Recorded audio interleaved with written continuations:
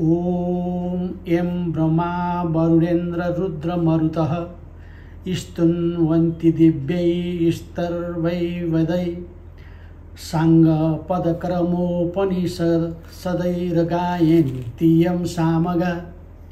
ध्यानावस्थित तदनगतेन मनसा पश्यन्ति यं योगिनि। यस्यान्तं न विदुः सुरा सुरगणा देवाय तस्मै नमः।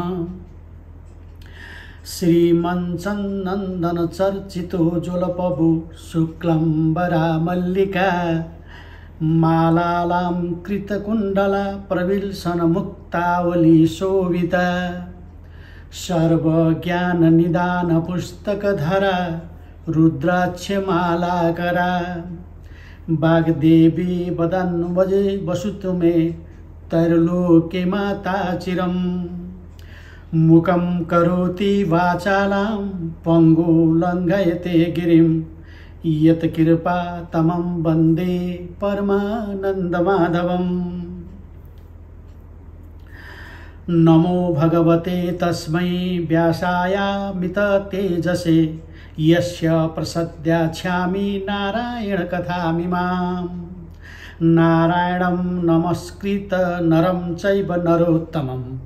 देवीं सरस्वतीं व्यासं ततो जयमुदिरये साष्टाङ्गं नमनं कृत्वा स्वस्थानीं परमेश्वरीं कथां सुदोपमां देव्यः श्रुत्वाभीष्टफलं लभेत्। श्रीसुस्तानी मातालाई नमो नमो।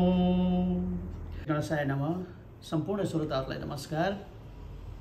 आज स्वस्थानी व्रत कथाको तेस्रो भाग यहाँहरूमाझ प्रारम्भ गर्न गइरहेका छौँ सुनाउन गइरहेका छौँ। यहाँहरूले क्रमशः प्रत्येक दिन एक अध्याय गरी एकतिस दिनसम्म हामीहरू यहाँहरूमाझ रहनेछौँ र हाम्रो कथा वाचन शैली हाम्रो कथा भन्ने तरिकालाई यहाँलाई मन परेछ राम्रो मान्नुभएको छ भने यहाँले हाम्रो च्यानललाई सब्सक्राइब गरेर सब्सक्राइब गरिदिइसकेपछि हाम्रा कार्यक्रमहरू यहाँहरूमाझ आउनेछ र यहाँलाई जानकारी हुनेछ। त्यस कारणले यहाँलाई सब्सक्राइब गरिदिनु हुनुको लागि पनि हामी अनुरोध गर्छौँ र आज तृतीय अध्याय तेस्रो अध्याय यहाँहरूमाझ प्रस्तुत गर्ने अनुमति चाहन्छु।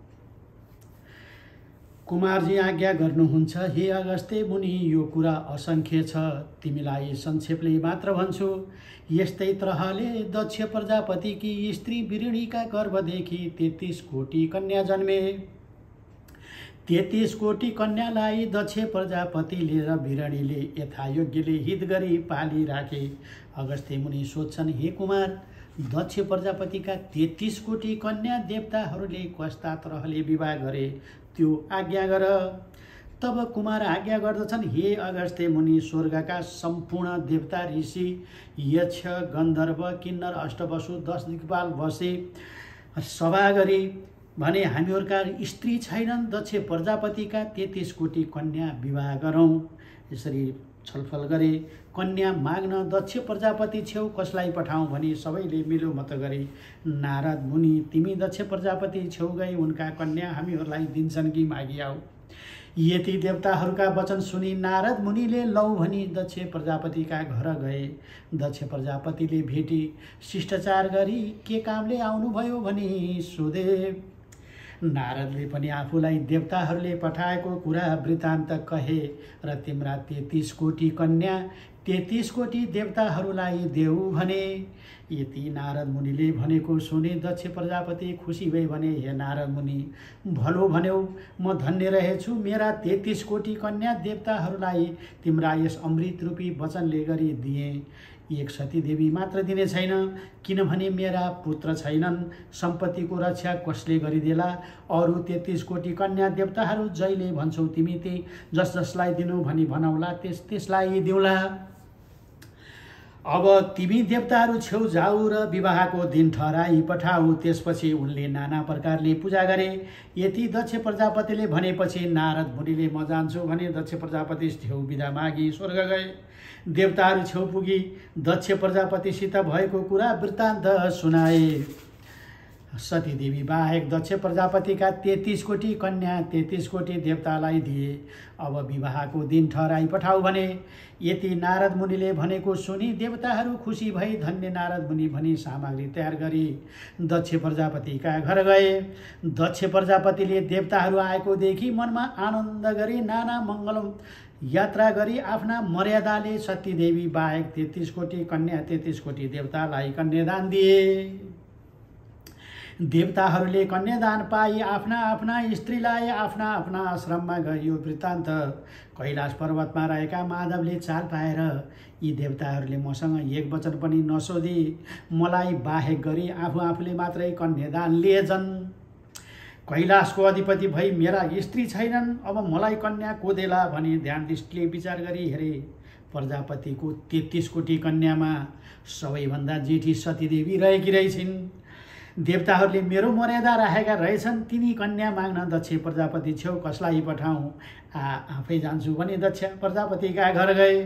दक्ष प्रजापतिले महादेव आएको टाढेबाट देखि हे स्त्री त्यो आएको महादेव हो कि के भन्न आयो हो भनी बिरणीसित कुरा गरिरहँदा महादेव दक्ष प्रजापतिको घर मुनि टुक्लुक पुगी पुगेर बोलाए दक्ष प्रजापतिले झ्यालमा निस्कि भने माथि आऊ। हे महादेव त मेरा घरमा के कामले आइस? उनले महादेवलाई अत्यन्त हेलासित यस्तो कुरा भने तब महादेव आज्ञा गर्छन् हे दक्ष प्रजापति तिम्रो घरमा आउनु मेरो अरू केही काम थिएन। तिमीले कृपा गर्नाले तेत्तिस कोटी देवताहरूले कन्यादान पाई उद्धार भए। सतीदेवी रहेकी छन् योग्य पनि छु ती मलाई कृपा गर। यति महादेवले आज्ञा गरेको सुनि दक्ष प्रजापति क्रुद्ध भई भने हे पापिष्ठ मेरी कन्या सतीदेवी तँलाई योग्य कसरी होली?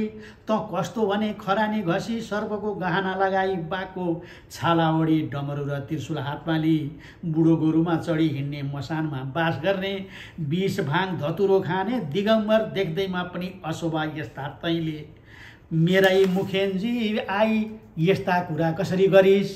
जा मेरो घरमा नमस। उनले यति भनी महादेवलाई पाखुरामा समेतेर उठाए महादेवले यस्ता तरहसँग दक्ष प्रजापतिले नाना तरहका आफूलाई निन्दा गरी क्षुद्र वचन गरेको सुनि बहुत मन दुखाई। बाहिर आएर नदिने भए दिन्न भने भइजान्थ्यो त्यस्तो निन्दा त गर्नु पर्दैन थियो नि। अब कता जाउँ कसले ती कन्या मलाई पारिदेला भनी विष्णु छेउ गए। विष्णुले श्री महादेव आएको देखि झट्ट उठी आदर गरी बिछ्याउनामा बसाली के कामले परिश्रम गर्नुभयो? भनी सोधे। महादेवले विष्णु हे विष्णु भनी आफूले सतीदेवी माग्न गए। दक्ष प्रजापतिका घरमा गएको र दक्ष प्रजापतिले नाना तरहले निन्दा गरेको कुरा वृत्तान्त कहे। मेरा स्त्री छैनन् त्यस कारणले मेरो घर छैन यति कुरा गर्न आएँ। जसो गरी ती कन्या मेरी होलिन् त्यसै गर भनेर भने। यति महादेवबाट आज्ञा भएको सुनि विष्णुले भने हे ईश्वर यो काम म पार लाउँला। सन्देह नगरी बक्सियोस् दक्ष प्रजापति छेउ जान्छु। म नआउन्जेल तपाईँ यहीँ राज गर्नुहोला। यति विष्णुले भनी महादेवलाई पर्खाई आफू दक्ष प्रजापतिको घर गए दक्ष प्रजापतिले विष्णु आएको देखि माथि राखी आधार गरी बिछौनामा बसाली हे विष्णु आज मेरो घर किन पवित्र गर्नुभयो? आज्ञा होस् भने सोधेर विष्णु आज्ञा गर्दछन्। हे दक्ष प्रजापति केही माग्न भने आएको तिमीले दिने भए मात्रै माग्छु तब दक्ष प्रजापति भन्छन् हे विष्णु आज्ञा गर तिमीले मागेपछि जेसुकै मागे पनि म अवश्य दिम्ला यति दक्ष प्रजापतिले भनेपछि विष्णु आज्ञा गर्छन् हे दक्ष प्रजापति वैकुण्ठको अधिपति भई मेरा स्त्री छैनन् तिमीले कृपा गर्नाले तेत्तिस कोटी देवताले कन्या पाई उद्धार भए। अब सतीदेवी रहेकी छिन् ती कन्या मलाई कृपा गर। यति श्री विष्णुले आज्ञा गरेको सुनि दक्ष प्रजापतिले मनमा विषाद गरी भने हे विष्णु मेरा पुत्र छैनन् सम्पत्तिको रक्षा गर्न राखे कि? दिनु त थिएन के गरौँ? मैले बाचा हारेँ दिनु पर्यो ती कन्या तिम्रै भइन् सुदिन ठहराई। कन्यादान ल्याऊ यति दक्ष प्रजापतिले भनेको सुनि विष्णुले लौ भनी वैकुण्ठ गए विष्णु आएको देखि महादेवले आज्ञा गरे हे विष्णु तिमी गएको काम कस्तो भयो? तब विष्णु बिन्ती गर्छन् हे ईश्वर म गएको काम पुग्ला भने जस्तो भयो। तर मलाई भनेर मागेर आएँ तपाईँले वृद्ध सन्यासीको रूपले कन्यादान दिने ठाउँमा आई भिक्षा माग्नु। मलाई भिक्षा नदिई कन्यादान लिए पनि कन्यादान दिए पनि श्राप गरौँला। भिक्षा देऊ भन्नु। मैले हे सन्यासी मेरो बेला बित्त लाग्यो। कन्यादान भइसकेपछि भिक्षा दिउँला। श्राप नगर यहाँ आई बस भने म बसेकै ठाउँमा बसाली राखुला दक्ष प्रजापतिले कन्यादान दिँदा उसको आँखा छली तपाईँको हातमा पारिदिउँला। यस दिन यस बेलामा आउनुहोला विष्णुले यति दक्ष प्रजापतिसित भएको कुराको वृत्तान्त कहे। यति विष्णुका वचन सुनि महादेवले लौ भनी हर्ष मन गरी कैलाश पर्वतमा जाँदा भए। इति श्री स्कन्द पुराणे केदारखण्डे माघ महात्मे कुमार अगस्ते सम्वादे श्री सुस्तानी परमेश्वराय व्रतकथायां दक्ष कन्याय देवता विवाह वर्णनं नाम। तृतीय अध्याय। हे विष्णुजीले छलछाम गरी प्रजापति दङ्ग विष्णुजीले छलछाम गरे। दक्ष प्रजापति दङ्ग आखिरीमा सत्यवती शिवजीसँग। आखिरीमा सत्यवती शिवजीसँग। आखिरीमा सत्यवती शिवजीसँग। हस्त नमस्कार भोलि हामी चौथो भाग लिएर उपस्थित हुनेछौँ। हस् नमस्कार।